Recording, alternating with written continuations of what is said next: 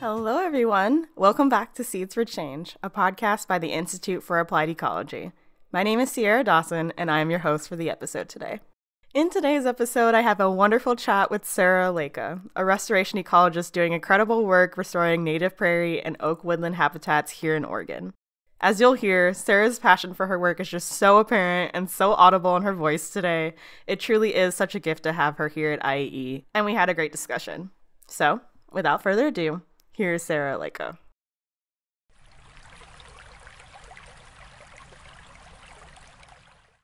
Hi, Sarah. Thank you so much for sitting down with me today. I'm excited to talk to you.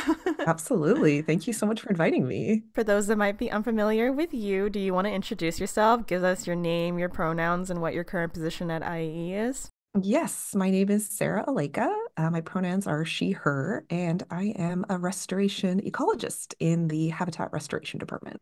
First question that I had for you is Do you have a first memory or experience that drew you to the environment or made you want to know more about potential environmental work?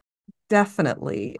Uh, when I was a young child, I was probably seven or eight. I was living in Canada and it was winter. So there was snow on the ground. It was perfectly white. And I remember looking out the window and seeing this flash of red sort of flapping around and it was a cardinal, a northern red cardinal, and it was injured. There was something wrong with its wing, and it was hopping around the backyard. And I just had this sudden urge, like I couldn't just leave this beautiful thing out there in the snow. And so I went and I got my mom, and I was like, "We have to go rescue this bird." and she was like, "Oh my god," you know, she she didn't. She she was like, "How am I supposed to do this? How are you supposed to capture a bird? Because even when they're injured, they're pretty hard to capture." So she went outside and spent like half the day trying to capture it. And the way she captured it is, um, you know, when you have a house and you have basement windows, and the basement windows sort of have like a little kind of um, catch basin where the sort of window pops out of the ground. And so there's kind of like a little hole. And she managed to kind of capture this cardinal into this little hole. And she took it and brought it into the house and we had no idea what to do with it. We took it to a veterinarian, and because it's a wild animal, the veterinarian didn't, didn't charge us. And she said that the wing had been scratched. It hadn't been broken, it was just scratched. And so she said, keep it in the garage so it doesn't still doesn't get unaccustomed to the cold. Feed it. And it was there for about a week. And at that point, she said that'll probably be enough for for the wing to heal. So we went out into the garage and we opened the little door to the cage, and that bird just shot out and oh flew God. up into the sky. And oh Aww. man, was I hooked to restoration after that. yeah, hoped it lived a happy life after that. yeah, definitely. I always think about that bird. That's so interesting. Um, when I was talking to Tom in my previous episode, we were talking about how sometimes um, early childhood experiences that lead to environmental work is like some kind of outdoor school or like a summer camp and things. And we like shared that thing. So it's cool that for you it was um, the instance of like a wild a wildlife instance. You know, that really piqued mm-hmm. your interest. Yeah, definitely. Cool. Nice. And I can imagine a red cardinal against white snow was very striking. So I yes. can I can imagine that's a memory that's very poignant, you know. Yes, yes. I've never seen a red cardinal because they're not here in the West. Mm-hmm. But they're beautiful, beautiful birds. And people love them because they're one of the only birds that stay around in the winter. Okay. Cool. The next question that I had was kind of just your general academic path. Um, so you know what you did for your bachelor's degree um, and any higher education and also just tying that to location because you said you grew up in canada but now we're here in the us so if you want to talk about any of that i would love to hear it. Yeah well um, the, the bird incident definitely uh, led me down this path of wanting to help animals. And so as i was growing up there were two things that i really wanted to do. One was to be a writer and the other was to be a veterinarian nice. and save more birds So I had these sort of twin paths that I carried on through most of my life. And then when it came to time to go to college, I chose to follow the writing path. And so I got an undergraduate degree in writing and in mm-hmm. English literature. And I love reading books. I'm very passionate about that. Me too. but when I graduated, most jobs that you get as a lit major are working in communications or marketing, mm-hmm. which are great jobs. They pay really well and they're very uh, stable. but they also don't really give you that much um, enjoyment, especially not with the natural world. And I always wanted to work with animals and with wildlife and being outdoors. So, what I ended up doing was sort of using that love and that passion in the volunteer sense. So, I did a lot of volunteering. Um, I was a, a veterinary tech, I was a wildlife tech, I became a wildlife rehabilitator and I rehabilitated um, pigeons and birds in my house. It was all goes back all to that, you know, northern cardinal. I was gonna say we're really keeping a theme here. it's true. It's true. Um, but I never really, those weren't paid jobs. That was all kind of on the side. And it came to this point in my life when I was working in a you know, just your typical office environment. Just picture the gray cubicle. Yeah. And I would be working, you know, every day from nine to five. And I had this computer in front of me that had two screens. And on one screen, I would be doing my work. And on the other screen was a live feed from, you know, one of these bird cams of just looking at birds and nature. And, you know, I just kept saying, why am I sitting in this office? Looking at this bird cam, like, why don't I just go out there? Right? That's really what I want to do. But I couldn't think of any way to do that. You know, it's like I'd already made this path. I'd already made this decision at that point. I was in my 30s, already had a good job, everything was really stable. And so I couldn't really see a path forward except as doing it in my free time as a volunteer. So then sort of serendipity happened. I got this job in marketing at Columbia University. And they have this wonderful program where if you work there for a couple of years, you get free tuition. So you can take classes. And so that's what I did. I just started taking ecology classes and I had no idea where that was going to go. But I loved it immediately. As soon as I started taking it, I thought, wow, this is so great. I'm learning about all of the things that I've been thinking about and wanting to do. And it was really interesting because all of this time I'd been so focused on wildlife and helping individual animals. But something you learn through ecology is that really, if you want to make change on a big scale, it's not about individual animals, it's about habitat, it's about large ecosystems. Most animals that are endangered, or actually most animals that are in trouble, is not because the individuals are having a difficult time. It's because they've lost their habitat. Their habitat no longer exists, it's gone. And we see that so much here in Oregon, in the Willamette Valley, where so many of our grassland birds, so many of our prairie plant species, they're gone because we only have 1% of our prairies left. There's nowhere for them to go. And it's funny, I was talking to our farm manager here at IAE, and we were talking about some of these plants, and there's this real desire to sort of treat them with care, to be like delicate about them. Oh, you know, this is this endangered species. we have to be really delicate. Yeah. And I'll just never forget what our farm manager said. She said, they're not endangered because they're delicate. Yeah. They're endangered because they got nowhere to live. Yeah. And that really stuck with me through school. And I realized slowly over four years of studying at Columbia that if I really want to make change, I need to work on the ecosystem level, mm. on the mm. ecosystem scale. Mm-hmm. And that's what really inspired me to follow this different path. And so I started working in habitats at ecosystem level scales in restoration. Mm-hmm. So I worked in um, New York because it's an estuary. So I did estuary restoration because that's what was there. And so I worked with um, oyster reintroductions. New York City used to be called the Big Oyster because there used to be so many oysters. Makes sense. the yeah. idea was, yeah. So the idea was if you restore the oysters, you're creating the habitat of the oyster reefs and once you create the reefs, then those species that live on the reefs will come back. Mm-hmm. But also, oysters filter water. They're filter feeders. So they will clean the polluted water. So they provide so many ecosystem benefits. So again, it's like if you're rescuing one fish, that's one thing.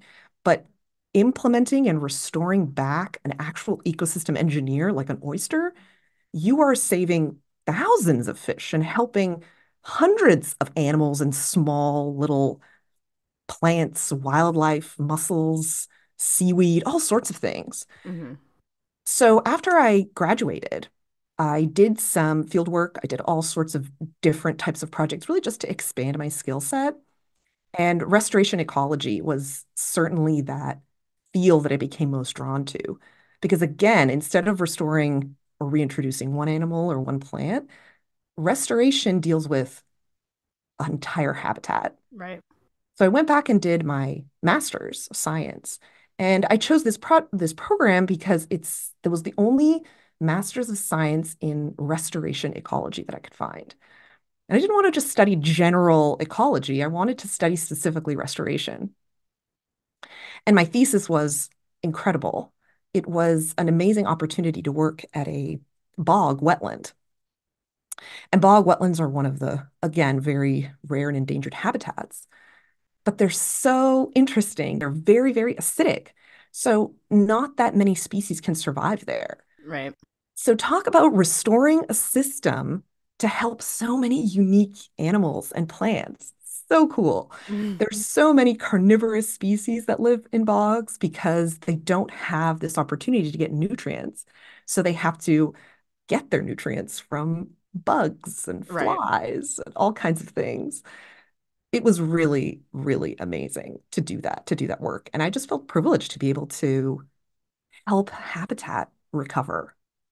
Nice. Oh my gosh. I heard so much in that response. I'm like, oh my gosh, where do I start? First of all, I want to acknowledge how much ex internal exploration that it takes to be in an established career, you know, be on a path that seems stable and seems like, all right, I have it together. I finally figured out what I'm doing, you know.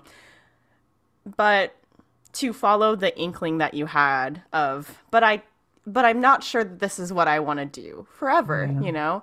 yeah. Um, that takes a lot of internal exploration that I feel like not a lot of people are willing to do because it's scary, right? It's scary to hmm choose a different path from what you've already established for yourself. hmm Um, I love that you uh, describe it as a serendipitous moment where you started taking classes during through your job, you said at Columbia, and just I'm super hmm happy that that worked out for you. Oh my gosh. And like, I'm just, I feel like you have been all over the place, like hmm location wise, um, hmm like Canada, New York, Oregon, DC, all over the place. And also, you started with this um, path of wildlife and you made this connection. Your initial inkling with environmental work was this one red bird, right? Yes. And then you started thinking at a systems level where you're like, well, what is impacting that bird or this other bird, whatever species, you know, that you're focused on? What is hmm impacting the species that makes them imperiled? You know, that's a big connection to make, um, Yeah. to be able to think at a systems level. So I super appreciate you, you know, bringing up that connection too. It's like so fascinating. Yeah. Habitats are everything, everything. And that's one thing that's rare about restoration is that we're working with the whole picture, the big picture. It's of course important to look at all those different elements because they all come together as a whole. But as a restoration ecologist, you're the one that gets to put it all together. Yeah, nice. Oh my gosh, kind of like answered the next question that I was gonna ask too. I was gonna say like for people that um are curious or like how would you define the field of restoration ecology? You've kind of already touched on it, so maybe you want to take it in a in a way that's like, well, what does a day in your life as a restoration ecologist look like? You know, a field-based component, a not field-based component, if there's anything you want to speak to about that. Yeah, so restoration ecology, for those people that don't know, is a relatively new field. Most most of environmental protection focused for most of history for conservation. That's how we started our national parks. Yeah. We see something beautiful and we say, let's protect this for the next generation. Yeah. And just to be clear, that is still the best and most environmentally sustainable option. It is much easier to protect something that is still great and in great condition than to restore something. Right. However, society has come a long way in realizing the impact that we have. So restoration is really at its core a ethical response to human impacts on the environment. We owe restoration to these habitats because of all of the negative consequences that we've had. And it's really one of the few active ways that an average person can actually make a difference to the, the environment. For me, restoration was really exciting because it has so many different elements. It's not just one thing. It's not just going out in the field. It's not just being in the office. You really have to think really, really broadly. Yeah. So if you started a new project as a restoration ecologist, after getting funding and speaking to the clients, really the first step is an assessment of the site. That's where everything begins. So, what are we looking at? And there's such a broad range of things. Some of the projects, the sites are already incredible. And restoration, the Society for Ecological Restoration uses a five star system. So it ranks where along the restoration scale is this site. Okay. So a five star restoration is essentially a site that looks and behaves and functions just as a natural, healthy system would, down to essentially a one, which really none of the original functions of the site, the native plant diversity, the wildlife, none of that exists. So you can really have a broad range. So are you starting from a one? Are you starting from a four? Where are you starting? And then, of course, the second most important question is where do you want to get to? Right. It's just unrealistic to expect that every single place that we want to restore is going to be able to achieve a five star restoration. Some sites are just, it's almost sad to say, but they're just beyond repair to that level. And that's simply because our impacts are so strong. A really good example of that is wetlands. One of the main elements of a wetland is the hydrology, meaning the water. And if you don't restore that water regime, if you don't restore natural flooding, natural inputs, you're just never going to be able to restore its original or natural function. It's just not possible. But that's not to say there's not still things we can do. We can still improve a place from a one to a two or a two to a three. This is very possible. So that's sort of the the first steps is seeing and then assessing where you want to get to. Once you've done that, creating a plan, written a plan, then you get into the fun things of actually implementing your plan. and this is the field component of restoration. So this can involve a variety of things. The way we look at it is it's like a tool belt. You need to use different tools for different things. Not every site is going to need the same tools, but you need to be able to have access to those. So some of those things are a tractor for mowing or cutting down trees or shrubs, uh, managing invasive species. This is a very big one. You could use many different methods for that. You can use chemical control, you can use mechanical control, all sorts of different things. And then, of course, the seeding and the planting. So all of that is part of that field component. And that can take a really long time. Sometimes systems really need a lot of help to get to that. And sometimes we're working on projects for you know, three, five, ten years. But people are sometimes surprised to find that honestly, you can get change in a very little amount of time as well. Because a lot of these systems, they need some kind of disturbance. Now, natural systems, they're looking for change. That's what they do. There's floods, there's fires, there's gopher activity that churns up plants and kills them, there's deer that browse them. So having all that disturbance is a good thing. And as a restoration ecologist, part of your job is to cause disturbance to create change. I love that restoration ecology reframes the idea of disturbance to be a good thing. Um, mm-hmm. Because I think that's something that obviously, um, if, if you've ever worked in environmental fields, you know that we are very averse to disturbance typically. Yes. Um, that is why, uh, for example, here in the Willamette Valley, so much of our ecosystems are altered because we don't light we don't let fire into our systems anymore, mm-hmm. and that's a mm-hmm. big thing um, mm-hmm. for prairie work that we do here at the Institute for Applied Ecology. So, mm-hmm. I love that not only is restoration ecology a relatively new field because I was talking about this too with Tom. We were talking about how in during his um, graduate path, uh, restoration ecology became a thing. So it was yeah. a thing while he, like you know, while he was going through his schooling. So not only is it a new field, um, but it's also a field that is dynamic and kind of challenges the status quo or what we typically think of when we think of like preserving environments. You know, so I really love that this yeah. field is unique in that way. Definitely. And pushing the status quo, I think, is really an important element of restoration because it's still relatively new. A lot of the things that we want to do, we don't really have established research on. We don't have questions that have been answered for a lot of these things. So, a lot of restoration is experimentation. Yeah. Trying to see what works and what doesn't. I can kind of see parallels and also divergence from the field of restoration ecology versus like even conservation research, which are two programs that we have at IAE. So I'm speaking very broadly yes. of our organization, whereas IAE is very or conservation research at IAE is very focused on like this individual species that we are mm-hmm. trying to assess, you know, how do we preserve the species in in the most natural like framework that you set up where that's kind of how we think of um, environmental work is how do we preserve, yes. you know? Um, yes and that and that is an element of restoration ecology, but it's also more emphasis on the broader scale of a systems mm-hmm. level approach than Definitely. conservation research might be. So mm-hmm. I like that I am seeing these like differences and alignments and it's all comes together to create a bigger picture. Definitely. Yes, you're absolutely right.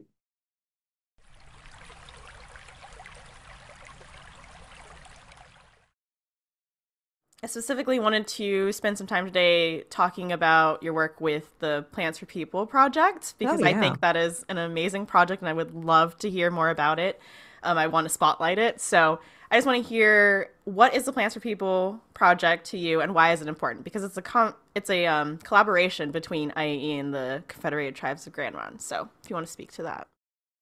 That's right. Yes. So um, I'm really proud to be part of this project. I'm only a very small piece of this project. I started at IE two years ago and I was given this project. However, this project had already been going on at that point for eight years, run by Peter Moore, our previous ecologist. So I'm really just one small steward of this really amazing project. And it has been funded very generously by OWEB for all of those years. And the project's main goal is to restore culturally significant species back to the Willamette Valley, primarily for the use by Indigenous people.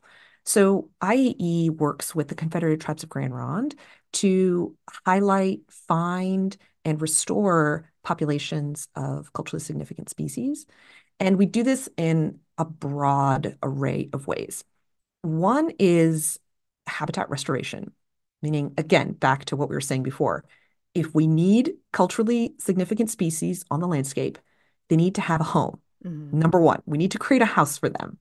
So the project involves, again, manually managing many of these sites, mowing, burning, um, using herbicide in limited uses, um, hand weeding, all sorts of things to, again, restore these properties so that there's somewhere for these plants to be. The second big element is creating and growing these actual plants. So a lot of our native species, and I'm sure we'll talk about this um, probably in future podcasts. I'm sure mm-hmm. you'll talk about this, but we have a real dearth of native seed. We really, really need native plants. And restoration could not happen without plant materials because that's always that element of we need to restore back what has been lost. And for culturally significant species, this is particularly true. Uh, and the reason why is because a lot of these species are bulbs and roots. So this is something like uh, camas, which has a bulb, or um, yampa, which is a, a, another native species that was used for um, for harvesting, and they're expensive to produce. And sometimes these native species are also difficult to produce. And finally, there's not always a demand for these species they're not particularly showy all of the mm-hmm. time, which means that there's not really a gardening or commercial demand for them. So nurseries don't produce them. So for the Plants for People project, the Confederate Tribes of Grand Ronde created a nursery on their property to create and grow these plants and it has been incredibly, incredibly successful. Uh, Jeremy Oya, who is the native plant coordinator there, he uh, manages the entire nursery and grows thousands and thousands of um, bulbs, seeds, and not only shares them with the tribe, but then also uses them for this Plants for People project to bring them back into the landscape. So that's that second element. And then there's a third element, which is creating opportunities for Indigenous people to actually gather the material. So you might think, well, why is it hard to gather? You can just go anywhere and pick some plants. There are a lot of hurdles in the face of Indigenous harvesting. One is access. So, a lot of places that you would think would be able to, you know, allow for getting these native plants are on private land. And so someone would have to, a, a tribal member would have to ask for permission to go there. Other sites are have been uh, using herbicide or other chemicals, which makes them not suitable for eating. Because obviously, a lot of these, um, not only edible foods, but also uh, materials that are used for crafting, are actually placed in the mouth or using um, you know your hands to create basketry and all of that could be means of getting being exposed to herbicides yeah. and pesticides so that's another limitation and then finally just not having enough of a density mm-hmm. of these species, right? So fine, maybe you have a site that doesn't use herbicides or pesticides, is, you know, readily accessible, there is no access issues. But then there just really isn't enough of them, right? Right. If there's only five plants, that's not enough to sustain harvest, right? In order to harvest something, you need to have a large enough density. Yeah. So the final part of this project is really creating these harvest areas and really thinking through logistically of where can they be that are easy to access, where do they not have to have special permitting, and where can we create enough of a density that people can go regularly and this can become a regular area for harvesting.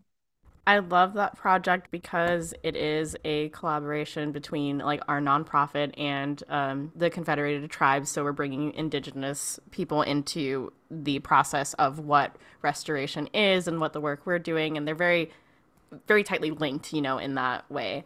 Um, and I love that this project also emphasizes species that are culturally significant but may not have the demand, as you were mentioning um, because yeah. most of the time, um, plant materials, and we'll hear from our plant materials program soon as well. Um, but plant materials is really driven by what do people want, you know? Yeah. And so if there's not that demand there, it's very easy for those species that are culturally significant to just fall by the wayside and nobody's really That's paying right. attention to them. So I really right. wanted to highlight this project because I think it is so integral to not only cultivating and maintaining this connection between our nonprofit and the indigenous people that are also stewards of the land in the Willamette Valley, but also just like keeping those species around, you know? So mm-hmm. awesome. Yeah, I think it's really important. We need to listen mm-hmm. to our indigenous folks. We need to listen to what they're saying. They have been managing this land for much, much, much longer than any of the rest of us. And their worldview is very unique in that and of course, I'm not going to speak for Indigenous people. You know, you could have, you can certainly invite the Confederate Tribes of Grand Ronde to this podcast. I'm sure they would be happy to talk about it. Um, but they certainly have a have a different point of view of that. Landscapes require people and need people on them to manage them and to maintain them. And that is very different from the traditional Western point of view, where we see wild places as untouched landscapes. All right. I just wanted to end the main part of the interview with giving you opportunity to highlight any other projects that you're working on that you're excited about. Oh, I could talk about my projects forever. well, one that I definitely want to talk about and highlight are the projects with private landowners. Private landowners are so key to the restoration picture. So many times we're talking about federal lands, federal lands, public lands, parks, state parks that's only a very small portion of the land in the United States. So much of it is owned by private landowners, and their commitment to conservation is what can really make a difference for the habitat and for species. hmm So I have several, I work with several private landowners in Corvallis and the surrounding area, a- a- particularly for the Kincaid's Lupin Recovery Project. And what I love about this project is that it's really looking at connectivity and how, for a species to do well, you really need to have multiple populations interacting on different scales. That's the way we protect on a long term, is creating multiple homes for someone. So if just one house disappears, they have other places to go. So the way that we do that is working with these private landowners who have amazing properties and are willing to help us come to their properties and help them enhance their sites. So we seed, we provide um, seed for these threatened and endangered species. Uh, we help manage invasive species. Uh, we work with them really to uh, implement a lot of restoration practices that can include prescribed fire, that can include um, mowing or other mechanical means, really anything that's required on the site. And I just want to shout out to anyone who, you know, has private land and is interested and is inspired by hearing restoration really think about what even a small portion of your property could be set aside as a home for some animals or plants that, you know, are looking for one. So that's one project that I'm really passionate about. Um, another one that I wanted to talk about was um, prairie oak. So the Willamette Valley is has many endangered habitat types, and one of them are is uh, oak woodlands and oak savannas. So historically, we used to have these sort of large open prairies with these large open grown oaks. And Oregon white oak is a species that doesn't like to be shaded out. So this is not a species you're going to find growing in a thick conifer forest. It really needs sunlight and open spaces. And by restricting prairies and open spaces and allowing conifers to grow out, many of these oak habitats are lost. The oaks die when they're shaded out. So we work with a lot of different um, properties with the BLM, but also with the city of Corvallis to restore these oak habitats. And they're really, truly amazing. Oregon white oaks can live, you know, 500 years. They're large, enormous species. And, you know, earlier when I was talking about how I was restoring these oyster beds as really important elements of a habitat, that's exactly what Oregon white oak is here. They provide so many amazing benefits to our ecosystem. So providing acorns for all sorts of animals, including the acorn woodpecker, who takes those little acorns and stashes them away, you know, for later, which is so crazy. Um, but also the dead snags also act as, you know, habitat for many different forms of wildlife. So doing work on these white oaks is really, really rewarding as well. And again, if you have a property with a really big Oregon white oak, that tree could be hundreds and hundreds of years old.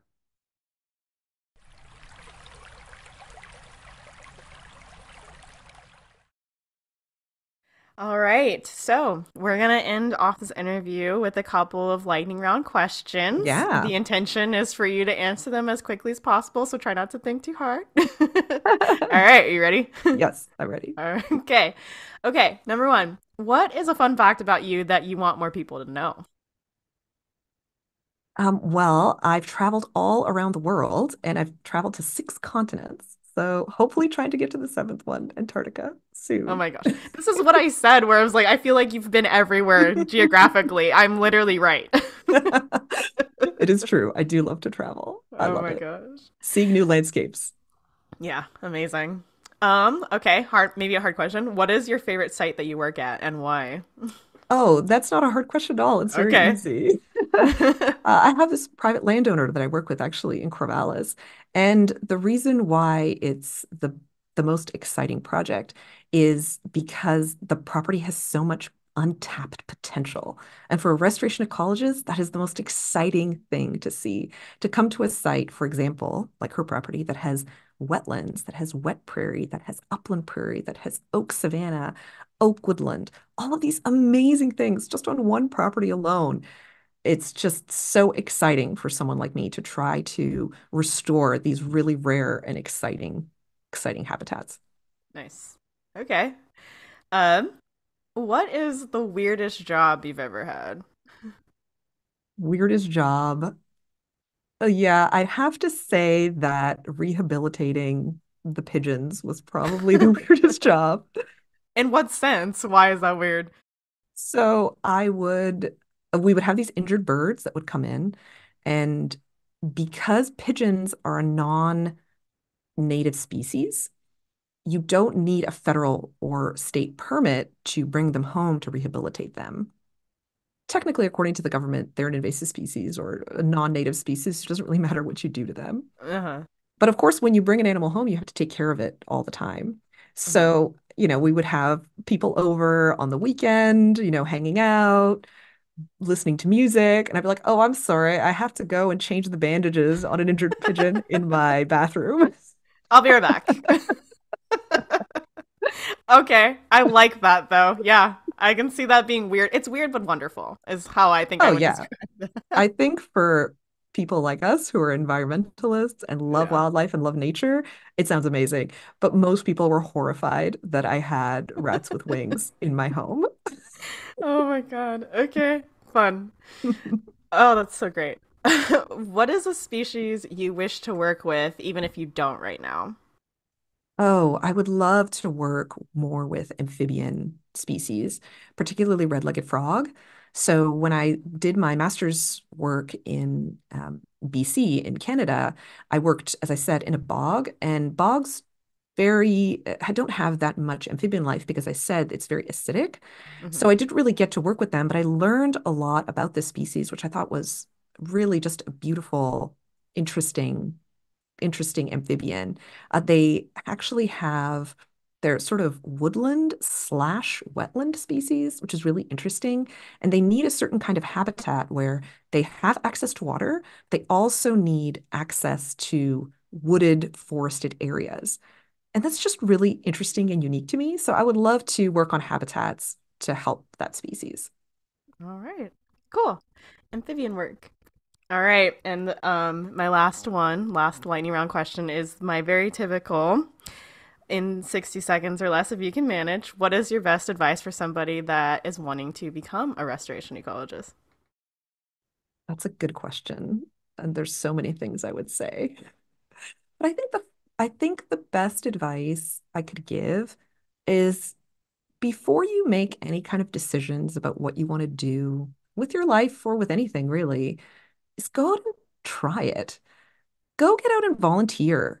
Come to our IAE events. We run so many events in the restoration department because you always need help. You know, planting, you know, stacking wood, all kinds of things, and see what you think about it.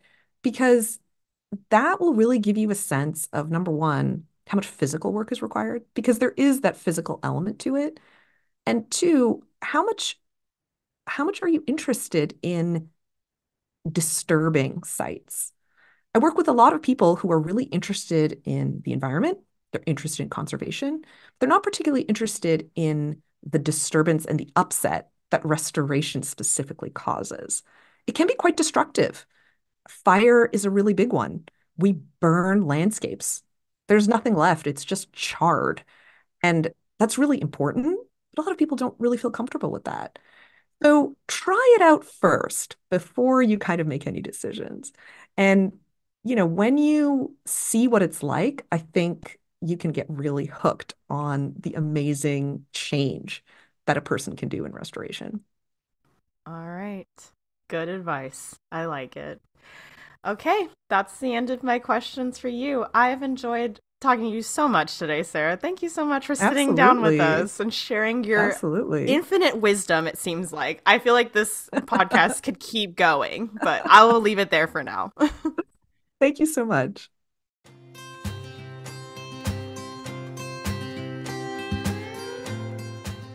Well, there you have it. I hope you enjoyed listening to today's episode and learning more about Sara's work. As she said, the Habitat Restoration Program at IAE runs volunteer events very frequently. So if you live in the Willamette Valley and you want to get involved, you can learn more on our website, appliedeco.org, or follow us on Instagram at applied underscore ecology. Up next, Seeds for Change is taking you on a trip 1,300 miles south to Santa Fe, New Mexico. We will hear from Melanie Gisler, the director of the Southwest branch of IAE, and if you're up for a trip, be sure to stick around and we'll meet back here next month. Thanks for listening.